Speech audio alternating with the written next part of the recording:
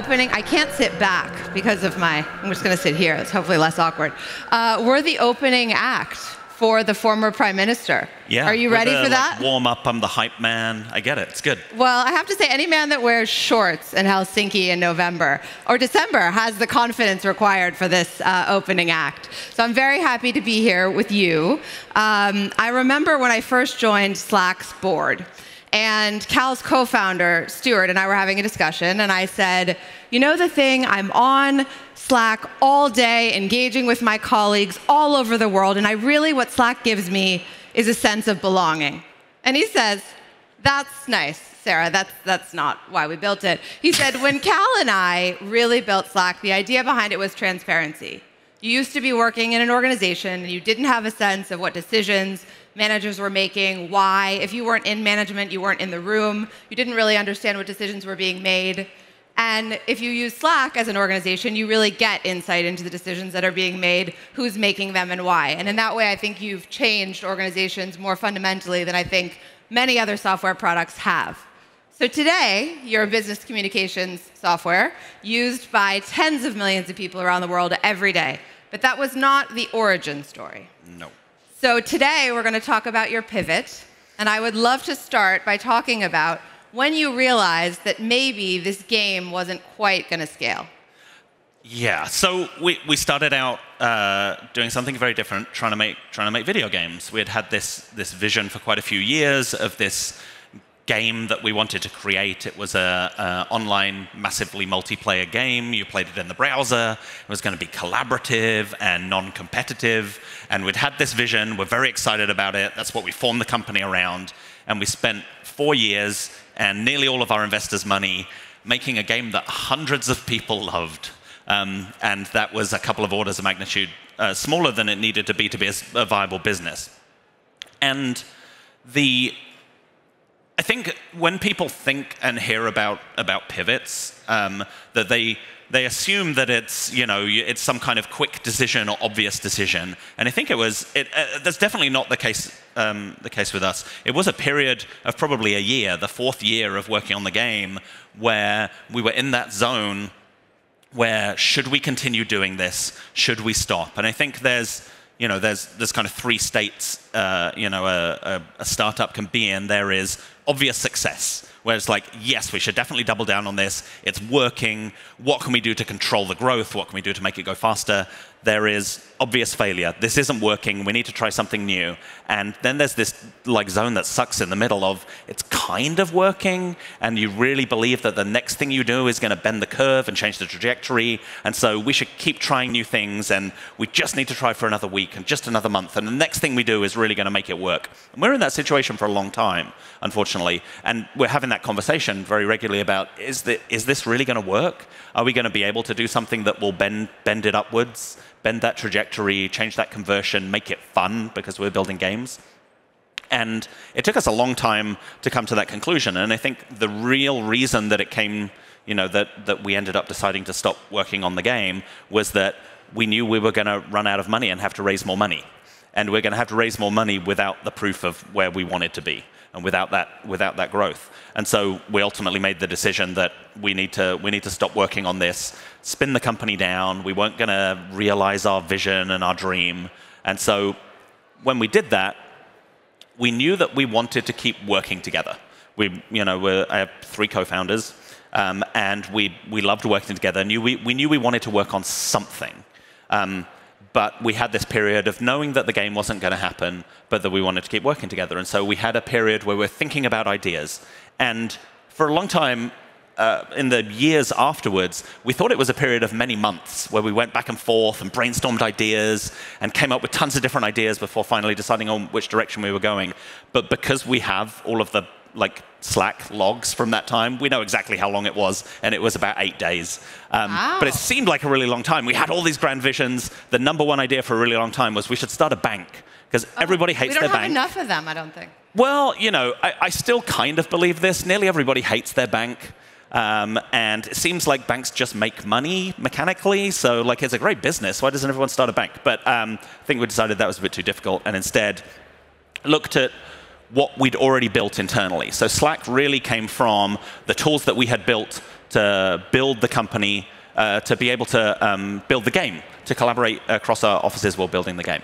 And how did you get alignment around? It sounds like there was some urgency in eight days around this being the idea. It was. It's obviously. I think it's the first product I have to say that I actually loved, and it really I think raised the bar and expectations for what people. But how did you align? Okay, business communication. This is it, and then you're the CTO in addition to being a co-founder.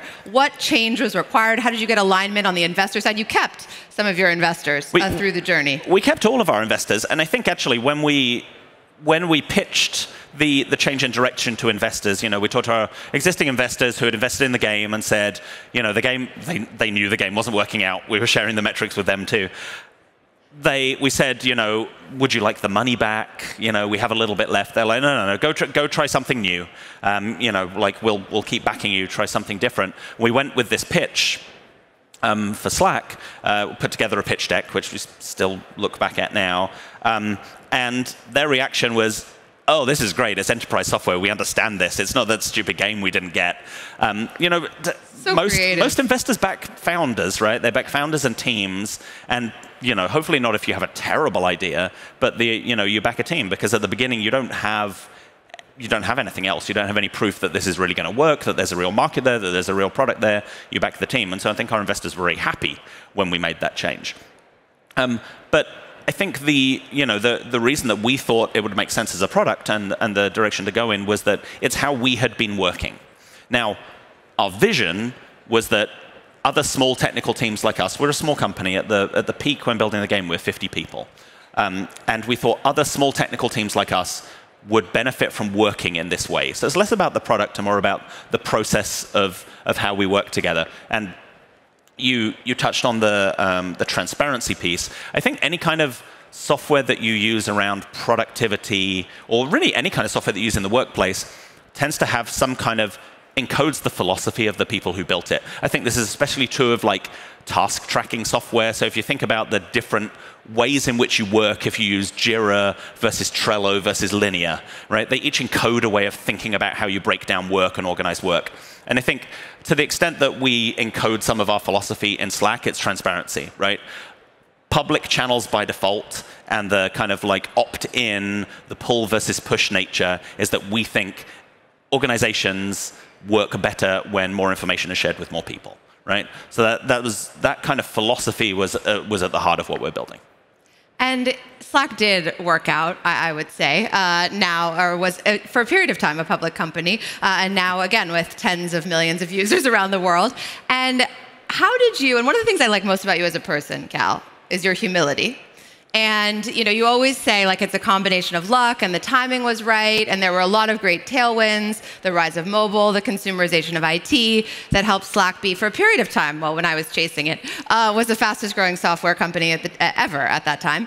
And I, what worked? How did you capitalize on those tailwinds? You know, how, and how did you really get this product market fit that the game had not delivered? Yeah, I, I think it often seems in retrospect like we must have launched the product and had immediate product market fit, but it was actually a the first kind of year in which we were developing it and doing our kind of private alpha and our first uh, external beta was really painful. We built a product that worked. The initial product that we built worked really well for a team of exactly eight people who were us.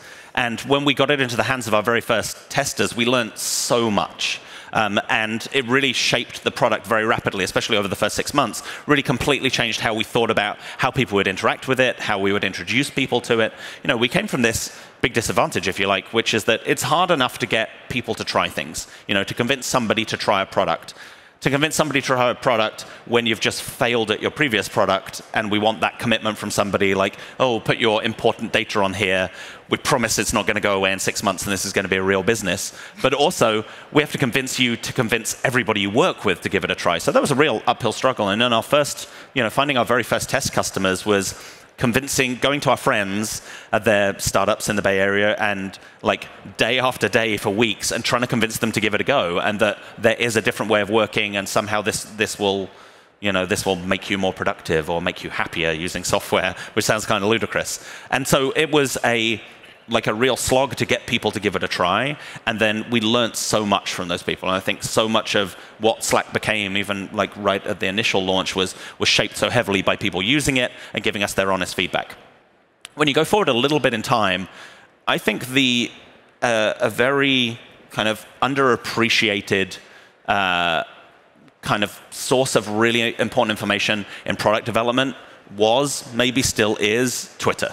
I don't know if we've talked about this before. I don't think we have. So in the in the kind of before Twitter era, and it's Twitter very specifically, not really any other social media. In the before Twitter era, if you tried some product, software product, consumer product, whatever it is, um, and you thought it was good or you thought it was bad or there was something wrong with it, you might tell your friends if you have that kind of relationship with your friends and the topic came up if it was so, it would have to be so incredibly good or bad or life changing that you would write to that company and give them your feelings, yeah. right? Like, how often have you contacted a company to tell them how you feel about their products? Maybe never. But then Twitter came along, and suddenly, if you had a slight feeling about anything, you broadcast it to the world. And enough people were doing that that when, when we launched, or even you know, during our kind of our beta period, we got so much kind of passive feedback coming back to us about things people liked, things they didn't like, things they were confused with, ways in which they were using the product. And it's such a rich channel of, of you know, real-time feedback at scale. Um, you know, that it's like not necessarily a replacement for, but definitely an amazing augment to kind of any kind of user experience research. Um, and it, we learned so much from that and, sh and shaped the product around it the best argument I've heard for X, I have to say. Um, and another tailwind that I think has really, well, it's actually, I'm processing what you said because I always think of community as one of Slack's great strengths. And I think of that as like getting actual people together around the world. And I hadn't thought about the online part of the feedback that was so instrumental in the, in the early days, in addition to, I'm sure, the great product feedback that you got from some of your investors. Um, but uh, I will abstain from doing any of that here. Um, but one of the big tailwinds, I can't get off the stage without asking you about AI. And I do wonder, one, how you're using AI in the product development process today at Slack. Uh, and then I'm also curious how you might have built differently had ChatGPT been available at the time when you founded the company? Oh, that, that's a great question. I don't know if everybody saw Benedict's talk earlier, which was fantastic. I think there is still just, we're in this great kind of like step change technology time where it's not exactly clear what most of the applications are going to be. And it's pretty clear that a lot of things that kind of are, are being built right now have been built in the past year are not necessarily what, are, what the applications of that technology are going to be over the next five. And, you know, the incumbents, which we are now, you know, look at the, how do we use this to augment features that we have have. So how can we augment Slack capabilities using large language models? And then the future version of that looks like some kind of, I don't know, maybe there's going to be a substantial change in how we interact with technology.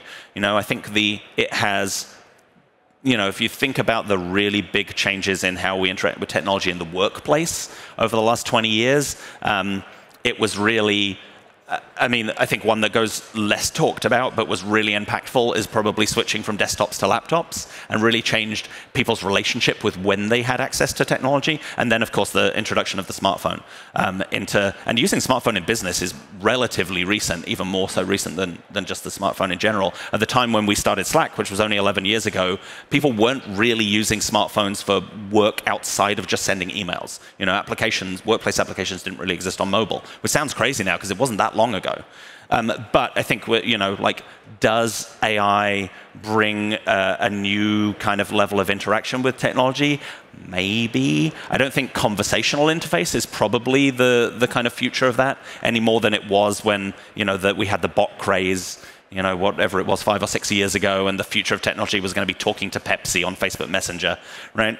But but it does enable a whole bunch of new, really interesting, you know, modes of interaction. Um, and so maybe it's going to be talking to AIs, and maybe it's going to be wearable things in some way. Who knows, right? But there's probably going to be some change to, you know, broadly how we interact with technology as a, maybe as a result of this AI. But I think, you know, what's what's interesting to to me as a like product builder at Slack is how we can make Slack more useful for our customers, um, you know, with AI. Um, and that is really one of the dreams that we've had dreams is strong, we make software. One of the things that we've wanted to do um, is if you use Slack for a long time, the longer you use it, the more and more messages you have. You know, we have billions of messages from some of our customers who have been using Slack for a decade. Um, is how can we make those more valuable? How can you know, the, the, as Benedict said, the kind of infinite interns. What could we do to like give you the superpower of knowing everything that's happened in your company over the last decade? And what would that mean? If you could answer questions about every project that's happened, but also who's the expert in this area of uh, the business? If we do a project on this, uh, you know, who, who are the people to contact?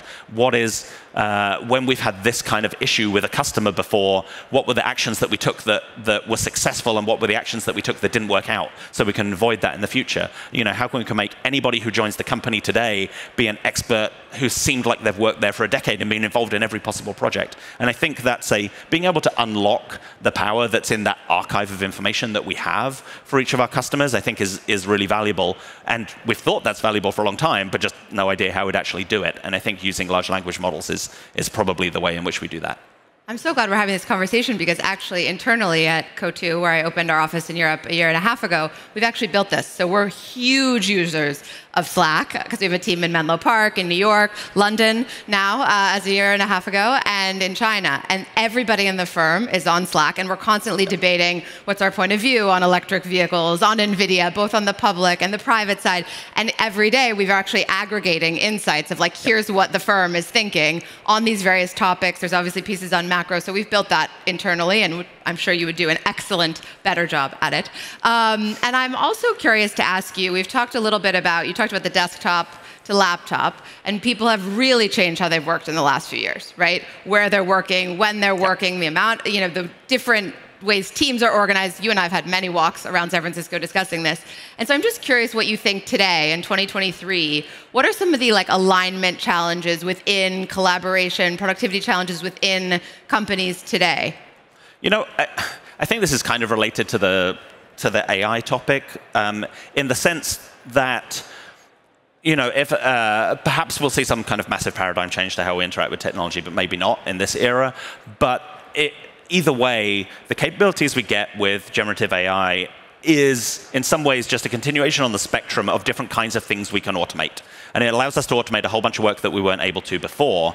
And in every instance, kind of starting with a spreadsheet um, up till up till generative AI, what it has done is stopped human workers from, from doing certain kinds of tasks and allows people to spend their time focusing on things which are more uniquely high leverage human activities, which tend to be more collaborative and more creative. And I think if you look back even just at the last decade of kind of knowledge work, it has tended to become a lot more complex and a lot more collaborative uh, and, and involve more people. And I think fewer kinds of activities uh, for, for information workers are solo. Like fewer and fewer kinds of work are done alone, more and more things are done on teams. And the biggest challenge with working with groups of people is like communication, but really around alignment, how you get people pointed in the same direction. And you know, measure of agility for any kind of organization is how quickly you can get everybody realigned when you change direction. And I think that is still just like a fundamentally difficult problem with groups of people.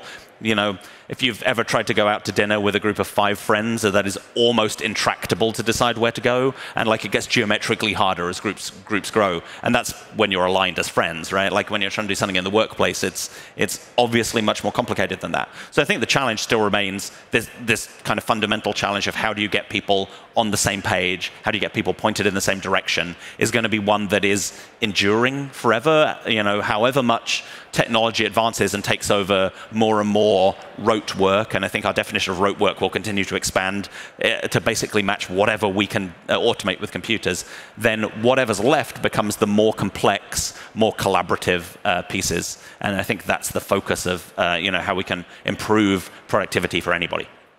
Sounds like a fun way to work. Um, you know, I wanted to ask you this question because one of the things I loved most about working with Cal, Stewart, and the team was your very first principles. So it's like the culture was never if I came and said, "Oh, but this other company did this," or "We kind of always did it that way." It was just not not on. And one of the kind of relatively unique things you did was a direct listing. And I'm hoping that the markets will, will see more uh, of the great companies in the audience going public all around the world in the years to come.